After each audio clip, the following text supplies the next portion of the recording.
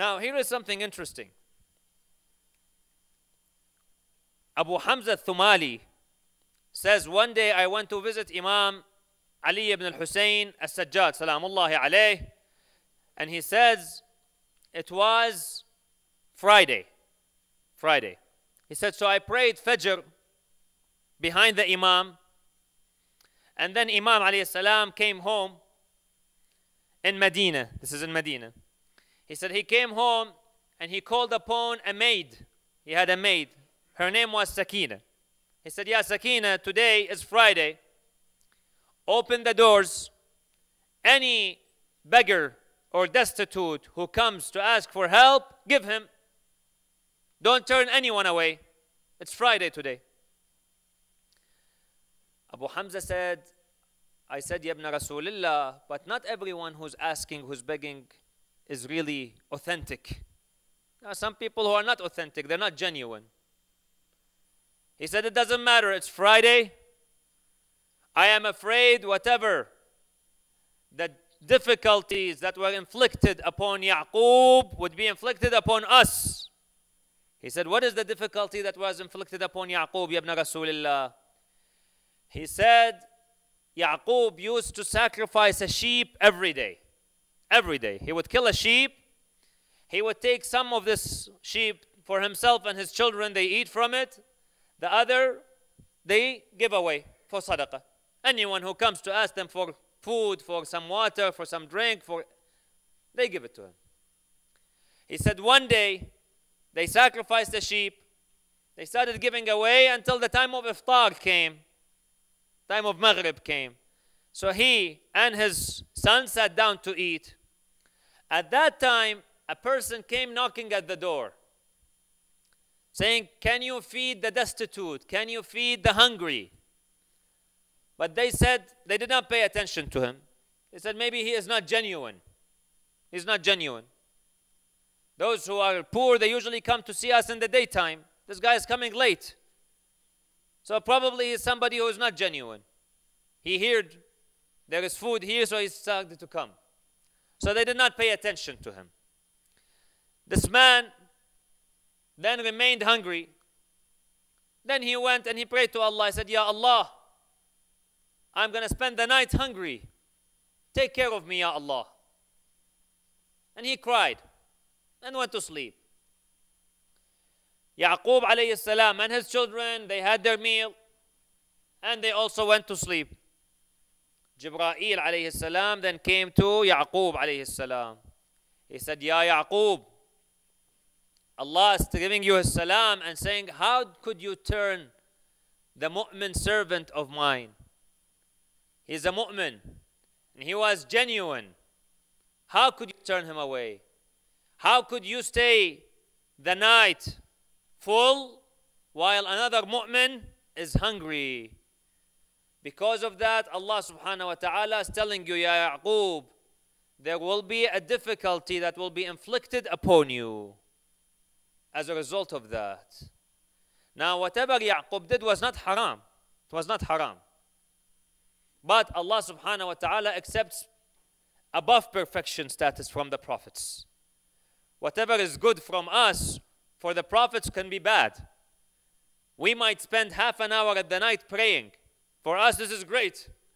For the prophets, that's very bad. Half an hour, they spend the whole night praying. They might sleep half an hour. So whatever we do that we think is good for the prophets is not good. They have a much higher status. And Allah subhanahu wa ta'ala, because He chose the prophets for Himself, He keeps them pure. Sometimes a teacher, a teacher might have a student who always gets 100%, 100%. One time the student might get 95%. He might go to the student and said, What happened this time? How come? Even though, mashallah, is pretty good. But the teacher is having higher expectation from the student. He always scores 100%. Even though the student didn't do anything wrong. He's still doing very well. He's still an A+. plus. But the teacher has high expectations. Allah subhanahu wa ta'ala has high expectations of his prophets. He chose them. And hence, when Yaqub didn't do this, he said, Ya Yaqub, a tragedy or a difficulty will be inflicted upon you. And then Abu Hamza said, I asked Imam al-Sajjad I said, so when did Yusuf, Prophet Yusuf alayhi see his dream? The dream when he saw the planets doing sujood and the sun and the, the moon.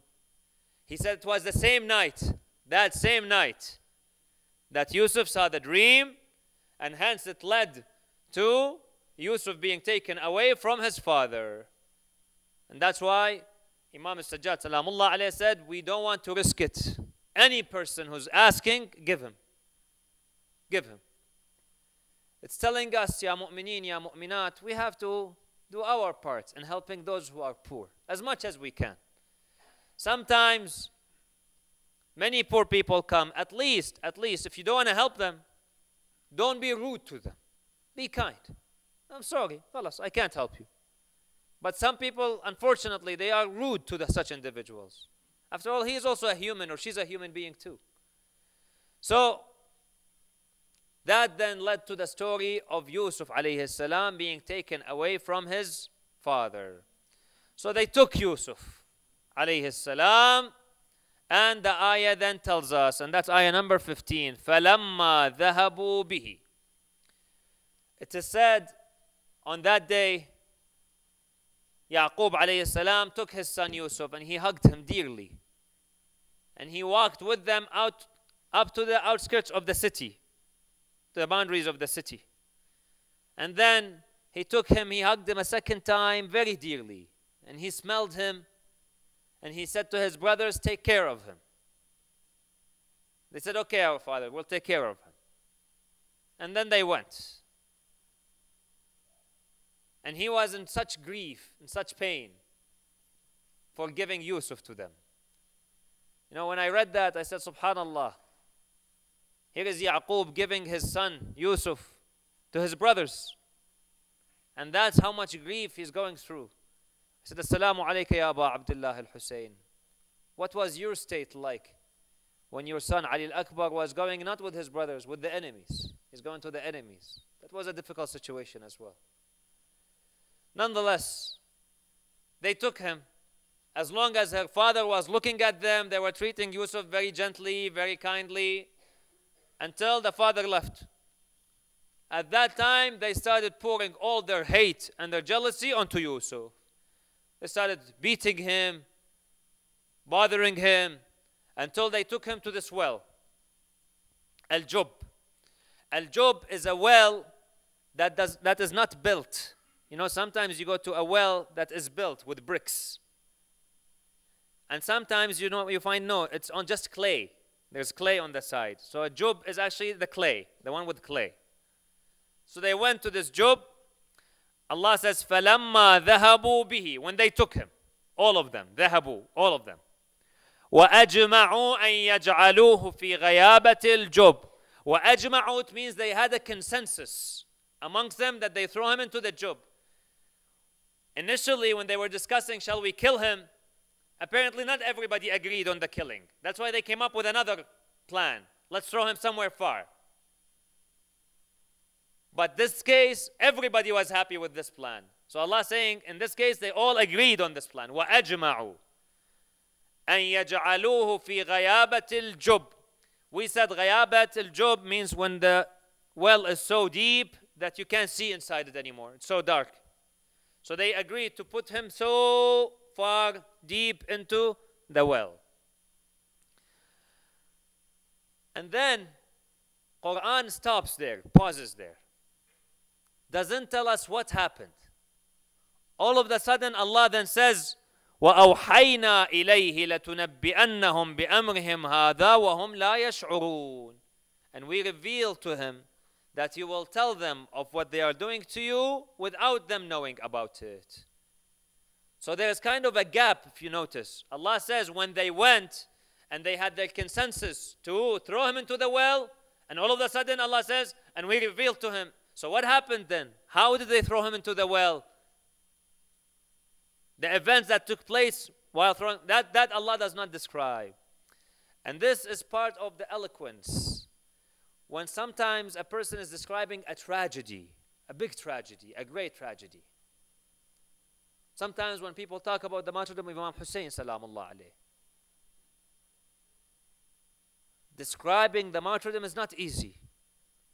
So you find sometimes some speakers, some individuals, they say, after all the companions and the family of Imam Hussein salam were martyred, then Imam Hussein salam went to the battlefield. And then they don't describe what happened next because it's such a severe situation. It brings tears to the eyes, tears the heart. So you find them saying, and then after the martyrdom of Imam Hussein, then the family was taken as prisoners. So then what happened between Imam Hussein and then his martyrdom? They don't describe it because it's such a severe situation. Allah is saying same thing. Here is a prophet of Allah, Yusuf alayhi salam. He's being taken away from another prophet of Allah, Yaqub alayhi salam. And they're throwing him into the well. That is a devastating situation. It is said when Yaqub alayhi finally came back and met with Yusuf many years later. Yaqub asked Yusuf, Yusuf, what did they do to you when they took you? He said, Father, don't ask. He said, No, I insist. He said, They took me to the well and then they told me, Take off your shirt. I told them, Brothers, I'm your brother. Why are you doing this to me? He said, One of them pulled a knife and said, Take it out. So then I took it out. At that moment, Yaqub fainted. He fainted when he heard this. Then when he woke up, he said, Ya Yusuf, then what? He said, Father, I swear upon you, by my fathers, by the God of my fathers, Ibrahim and Ishaq, not to ask. He said, Now that you've sworn upon me by Allah subhanahu wa ta'ala, okay, I won't ask. Because it's devastating. Yusuf alayhi salam knows if he tells the father, he's going to tear his heart. Such a difficult moment. So they took his shirt. They told him, Take off your shirt. So they took his shirt and then they threw him into the well. It is said Allah subhanahu wa ta'ala made a rock, ordered a rock to come out of this well so that Yusuf can go onto the rock, climb onto this rock in this darkness. And one of the brothers, Yehuda, one of the brothers of Yusuf, he was given the charge to go and give food to him every day and to monitor to see what happens to him. He stayed into the well for two days, or some say three days. Allah subhanahu wa ta'ala then revealed to him, He said, Don't worry, Ya Yusuf. Don't worry. One day you will tell your brothers about what they did to you. Then Jibra'il came to him and he said, Ya Yusuf, do you want Allah to save you from this well? He said, Yes. He said, Then read this dua. Say, Ya ilaha Ibrahim wa Ishaq wa Ya'qub. O Lord of Ibrahim, Ishaq and Ya'qub. ارحم ضعفي وقلة حيلتي وصغري. Have mercy upon my weakness and my helplessness. I don't have anyone to help me And my young age. And he taught him another dua. He said, also recite, say, Allahumma inni as'aluka فإن لك الحمد كله. And listen to this one. لا إله إلا أنت الحنان المنان بديع السماوات والأرض ذو الجلال والإكرام صل على محمد وآل محمد واجعل لي من أمري فرجا ومخرجا وارزقني من حيث أحتسب ومن حيث لا أحتسب اللهم صل على So Jibreel is telling Yusuf alayhi salam to pray to Allah, praise Him, some of His Asma'ullah al-Husna, أنت الحنان المنان بديع السماوات والأرض and then it says صل على محمد وآل محمد صلوا على محمد وآل محمد When you say salawat, then inshallah Allah will bless you, will save you. And indeed, the moment he said this dua, Allah sent a caravan. It is said that caravan that came did not usually come on that route. They had a different route. They were heading to Egypt but via a different route. They got lost. They got lost, and then they found this well. And if you remember, I mentioned Usually, caravans used to plan their way, their travel around water, wherever water was, so that they could fuel. They can ask for water. Otherwise, they'll run out of drinks and they might die. So, this caravan lost their way. The minute they found the well, they were happy. They said, Let's go, come to the well. So, they came to the well. And then the brothers, after they did this, they came back to their fathers. وَجَاءُوا أَبَاهُمْ عِشَاءً يَبْكُونَ Verse number 16. Now here are the, the tears. They're coming to their fathers with tears in their eyes, crying, weeping. I read one hadith, it is said that Lawi, one of their brothers, by the name of Lawi, and I mentioned this name, Lawi, several times, and I tell you to keep that name in mind, because there's something very interesting about Lawi later on. Lawi told his brothers, he said, Brothers, they said, Yes. He said, We're 10. They said, Yes.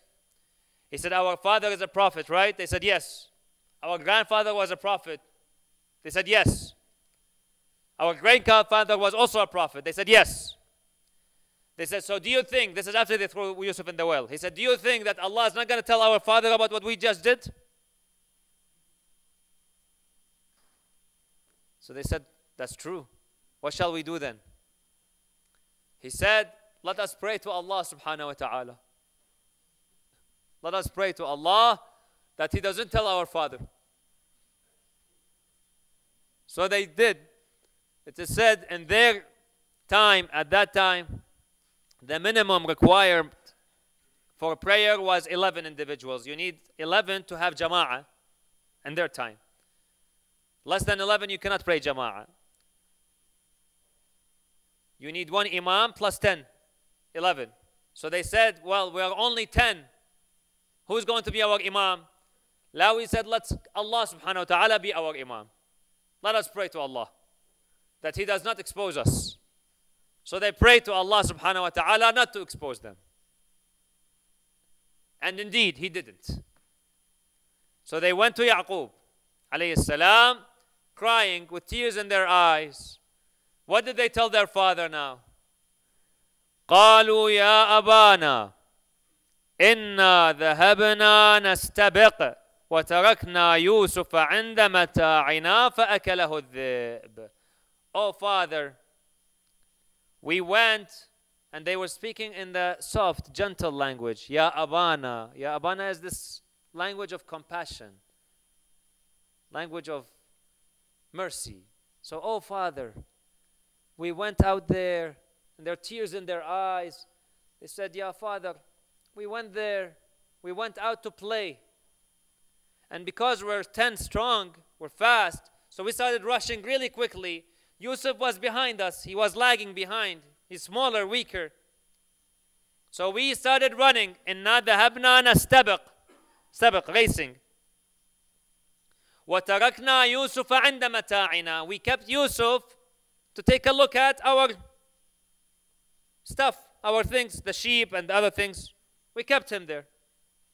Because he's younger, he cannot compete with us. So we kept him. We told him, Yusuf, you stay here. We're going to go run and then we'll come back. But when we came back, لا حول ولا قوة إلا بالله. What did we see? فأكله الذئب. The wolf came and ate Yusuf. وما أنت بمؤمن لنا ولو كنا صادقين. And I, when we know it is difficult for you to believe us, even if we are telling the truth. It's difficult. It's interesting here, there's a hadith of the Prophet that says, Do not, do not teach people to lie. What does he mean? He said, when Yaqub said, I am worried that if you take Yusuf with you, the wolf will eat him. The Prophet says the brothers of Yusuf did not think about that actually. They did not think of that until their father told them that I'm worried that the wolf will eat. They said, This is a great idea. So we'll tell him that the wolf ate Yusuf. So the Prophet says, sometimes be careful what you say. Of course, Yaqub didn't do anything wrong. He was teaching his sons. But the Prophet tells us, watch what you say. Sometimes you teach people to lie by telling them how to. You know, they say the example they give Sometimes, I don't know if you've seen some children, a son, you might have a son who's two years old, and you give him a ball. You say, Son, don't throw the ball at this light, for example. You see this light here? Don't throw the ball at it. Play with it. Does, you know, the son may not have even thought about throwing the ball at the light, but now that you told him, don't throw it at the light, you know, he becomes curious. So, what happens if I do throw the ball at the light? And he takes it and throws it at the light. So sometimes you got to be careful there. You know, teach your children. You know. I see some people here with sons. You know, mashallah. Watch what you tell them. And if they break your light at home, don't come and complain to me. Huh? You know, it's not my fault. So they came to your, the father, alayhi salam, Yaqub, and they said, He's dead. He got killed by the wolf. He was eaten by the wolf. And you're not going to believe us, but we have a proof. We have a proof. We have evidence. What's the evidence? We brought you the shirt full of blood, covered in blood. It said they took either a sheep or a deer. They found a deer, they sacrificed the deer, and they took the blood of the deer and they soaked it into the shirt. They soaked the shirt into the blood of the deer. So they brought the shirt to Yusuf alayhi salam, to Yaqub alayhi salam. And Allah says, وَجَاءُوا عَلَى قَمِيصِهِ بِدَمٍ كَذِبٍ they brought his shirt with false blood. false blood, blood of a lie. This became, brothers and sisters, in Arabic, it became a saying, a saying. You say somebody is as innocent as the wolf from the blood of Yusuf, alayhi salam. Bari'un kabara'at al-dhi'b min dami Yusuf. The wolf is innocent from the blood of Yusuf. He didn't do it. So this became a saying, and that's why when they asked a person, was Ali ibn Abi Talib alayhi salam, this is a Sunni scholar, they asked him, was Ali ibn Abi Talib responsible for the blood of Uthman? Was he the one? قال إنه بريء كبراءة الذئب من دم يوسف. Ali had nothing to do with the blood of Uthman. He is as innocent as the wolf from the blood of Yusuf. But people wanted to give an excuse. Otherwise, how can they rise against the Khalifa? What excuse? So they said, oh, he is the killer of Uthman. And so on and so forth. Anyways, so they brought this false shirt. But subhanAllah, a liar, a liar, Allah exposes him. They brought the shirt. What they forgot to do is to tear the shirt. They brought a regular, you know, good shirt to the, the father. They said, Here, this is the shirt of Yusuf. Now the father looked at the shirt, Yaqub alayhi salam looked at the shirt. He said, I am really surprised at this wolf.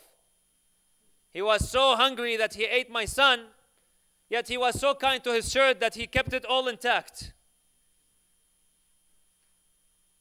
So he realized that they're lying. Otherwise, what kind of a shirt, what kind of a wolf is this? Take your shirt off and then let me eat you? And maybe also he wore the napkin and put this uh, the, the knife and the fork in his hand too.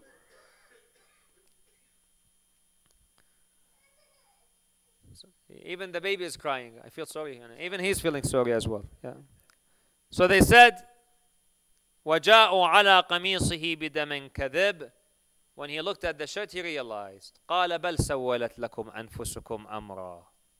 He said, yourselves have ordered you to do something that's evil, that's bad. But then he responds, he says, فصبر جميل. Will be patient. One day you will be exposed. One day he realized that Yusuf is not dead. Or at least he realized that they did not kill Yusuf the way that they claim they did. And this is something that we have to be careful of, mu'mineen and mu'minat. Allah subhanahu wa ta'ala, Yaqub is saying, بل سولت لكم أنفسكم. Taswil means, and nafs means that the body or the, the shaitan will tell you that do this ma'siyah and it's such a beautiful thing to do. He makes the sin look so nice. He doesn't think make you one make one think of the consequences of this sin. That's what you, Yaqub told his sons that Shaitan has fooled you. He made you think that whatever you're doing is the best thing that you're doing. But you're not realizing that what you're doing is such a great sin. They're bothering their father, they're bothering their brother, yeah, Yusuf. And it is said when he saw this, he fainted. Yaqub fainted. So the brothers came and they said, We hope we did not kill our father. Because that was not the plan. Until finally he woke up and he then, then said, فَصَبْرٌ جَمِيلٌ صَبْرٌ جَمِيل means what? Patience. But what kind of patience? Patience where one does not complain of Allah wal billah. That is the patience. Sometimes a person gets into an accident and every person he sees, he says, Oh, you know, I had an accident. it was such a difficult time. Everything is not going very well. I don't know why Allah is doing this to me. That is no patience. Not, not sabrun jameel. Not a patience where a person is having the patience not to complain of Allah subhanahu wa ta'ala. Sabrun jameel means no. I will be patient and I will complain to Allah subhanahu wa ta'ala. Allah knows. And that's why it is said in the day of judgment, there is a gate that will lead to Jannah. Jannah has several gates. Several gates. One of the gates of Jannah is a bab called Babu Sabirin, the gate of those who are patient. Anybody who Allah subhanahu wa ta'ala in this dunya inflicts with difficulties and he is patient on it. He doesn't say he keeps on patient, then Allah subhanahu wa ta'ala on the day of judgment will say, Enter this gate. Enter Jannah from this gate. Babu Sabirin. Now, for the mu'mineen, there is another gate as well by the name of Babul Mubtaleen, the gate of those who have been inflicted with difficulties. Bilal is narrating this hadith from the Prophet. He said, So I asked the Prophet, I said, Ya Rasulullah, isn't the gate of Bala the same as the gate of patience? After all, somebody, Allah inflicts somebody with difficulties, and then he is patient. He goes, He says, No. For the mu'min, even if he is not patient, even if he's not patient, he starts complaining, Allah, out of His mercy, because he's a mu'min, will make him enter Jannah, but from this gate, the other gate, Babul Bala, not Babul Sabirin. So Yaqub alayhi salam says, فَصَبْرٌ jameel, which means when we go through difficulties in life, be patient. Don't complain of Allah والعياذ بالله. Imam al-Sajjad alayhi salam says, فَإِذَا ابْتُلِيتَ بِعُسْرَةٍ فَاصْبِرْ لَهَا صَبْرَ الْكَرِيمِ فإن ذلك أحزم لا تشكون إلى الخلائق إنما تشكو الرحيم إلى الذي لا يرحم He says, don't complain to people when you are inflicted with difficulties because you're complaining Allah, the merciful, to the one who has no mercy, the human being. فصبر جميل so now that Allah subhanahu wa ta'ala, Yaqub is asking for patience, he's saying, We're gonna have patience, inshaAllah. But then he asks for the help from Allah. Wallahu al musta'anu ala ma tasifun. And Allah subhanahu wa ta'ala is the one whom I ask for help on what you're describing. This is also mentioned in another ayah in the Quran. Allah says, Bismillah ar-Rahman ar-Rahim, wasta'inu bis-sabri was-salat. Sabr and salat. So whenever you go through difficulties, have the patience and also pray to Allah subhanahu wa ta'ala. Ask Allah for the help. And Allah will give you the help. Sometimes He will delay the help because He wants to test you. He wants to test. Even the prophets get tested. Even the prophets. And the prophets, they don't get tested because they commit a sin. No, they're infallible. But Allah wants to elevate their status in Jannah. He wants to give them higher ranks. So finally, they do that. And then Allah now talks about Yusuf. What happens to Yusuf? Allah says in verse number 19, وجاءت سيارة فأرسلوا واردهم فأدلى دلوه. A caravan came and they sent a runner. They said, Go get us some water. Fetch us some water. So this guy goes. He takes his pail, his bucket, and he puts it down. When Yusuf alayhi salam sees that, he hangs on. This guy draws out the, the pail or the bucket, and all of a sudden says, What? My goodness. قال يا بشرى هذا غلام What good news. I mean, this boy is such a handsome looking boy in here. It is said Yusuf alayhi salam by that time was about nine years old when he was thrown into the well. He was nine years old. So he was so happy. He was, Subhanallah, what is this? I'm here to fetch some water, and all of a sudden I see a moon coming out of the well. قال يا بشرى هذا غلام فأسروه بضاعة So they took him as business for trade to sell him. Package. Now, it is said when the brothers of Yusuf saw that they was taken out of the well, they came and they told the caravan, they said, This man is our slave. This boy is our slave. He's our servant. We'll sell him to you. How much will you buy him for? They said, We'll buy him for 20 dirham. I said, Okay, accepted. So they sold him for 20 dirhams. And each brother took two dirhams. They divided. Other mufassirin say no. They themselves, the, the man who took him out, he sold it to other people in the caravan. He said, Well, I found this boy. I'm going to sell him. Who wants to buy him? And others say, Well, I'll buy him. Somebody else said, I'll buy him and I'll sell him. I'll have some business with him. Nonetheless, so they bought or they took Yusuf and they sold him within themselves. The caravan took him. And then Allah says, Wallahu alimun bima ya'malun. And Allah is all aware of what they're all doing. Allah knows what the brothers of Yusuf are doing. Allah knows what those caravan is doing. Allah is making everything. And finally Allah says, وَشَرَوْهُ بِثَمَنٍ بَخْسٍ دَرَاهِمَ مَعْدُودَةٍ وَكَانُوا فِيهِ مِنَ الزَّاهِدِينَ And they bought him with a very insignificant amount of money. 20 dirham is nothing. I mean, for such a handsome looking boy who looks like the moon, 20 dirham is nothing. 20 silver coins. It's very cheap. And they really were not interested in him. Not because they did not like him, but because they realized this boy is not an ordinary boy. It is said in the hadith that the man who fetched the water, his name was Malik. Malik. So Malik one day came to Yusuf when he was in the caravan. He said, Tell me, who are you? He said, My name is Yusuf. He said, Who's your father? He said, My father is Yaqub. And my grandfather is Ishaq. And my great grandfather is Ibrahim. He said, You come from that family? He said, Yes. He said, My goodness. So what brought you there? He told him, My brothers. They became jealous of me and they threw me into that well. He then told him, He said, Listen, since you're such a holy man, you're a holy boy, I have been married for so many years and I don't have children. Can you pray to Allah to grant me children? He said, Okay. So he prayed to Allah. He said, Ya Allah, grant him children. It is said that he had 12 sons afterwards, this Malik.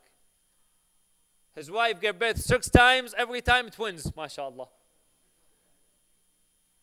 So go pray to Allah tonight, you know, by the barakah of Yusuf, yani. And then inshallah Allah will give you the dozen. So the caravan then took Yusuf. Where to? What happened? Inshallah we'll find out tomorrow. What did they do with Yusuf alayhi salam? Right now, let us raise hand, our hands for the dua. Inshallah, may Allah accept our dua by the barakah of Muhammad wa Ali Muhammad, just like Yusuf prayed to Allah by the barakah of Muhammad wa Ali Muhammad. Bismillah ar-Rahman ar-Rahim.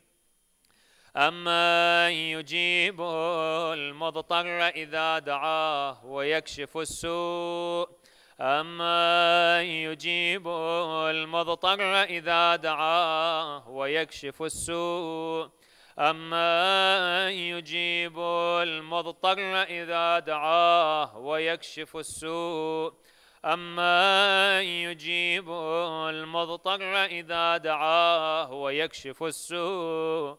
أما يجيب المضطر إذا دعاه ويكشف السوء. اللهم إنا نسألك وندعوك باسمك العظيم الأعظم الأعز الأجل الأكرم. يا الله يا الله يا الله يا الله يا الله يا الله يا الله يا الله يا الله يا الله. إلهي بفاطمة وأبيها وبعلها وبنيها والسر المستودع فيها اكشف عنا السوء يا الله. يا مفرج هم يعقوب فرج همومنا يا الله.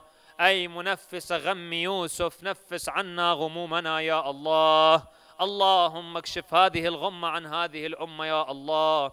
اللهم اقض حوائج المحتاجين. اللهم اغفر ذنوبنا يا الله. اللهم اجعلنا من شيعة محمد وآل محمد. اللهم شافي وعافي جميع المرضى يا الله. على الخصوص من أوصونا بالدعاء منهم. اللهم اقض حوائجهم وشافي مرضاهم. اللهم عجل لوليك الفرج واجعلنا من شيعته وأنصاره وأعوانه. اللهم كن لوليك الحجة ابن الحسن. صلواتك عليه وعلى آبائه في هذه الساعة وفي كل ساعة وليا وقائدا ونا ودليلا وعينا حتى تسكنه أرضك طوعا وتمتعه فيها طويلا. برحمتك يا أرحم الراحمين. اللهم أرنا الطلعة الرشيدة والغرة الحميدة واكحل أنظارنا بنظرة منا إليه. اللهم نقسم عليك بالزهراء فاطمة إلا ما رزقتنا شفاعة الزهراء. يا الله يا الله يا الله لقضاء الحوائج ولشفاء المرضى وإلى أرواح المؤمنين والمؤمنات لا سيما أرواح أموات الجالسين والحاضرين. رحم الله من يقرأ السورة المباركة الفاتحة مع الصلوات.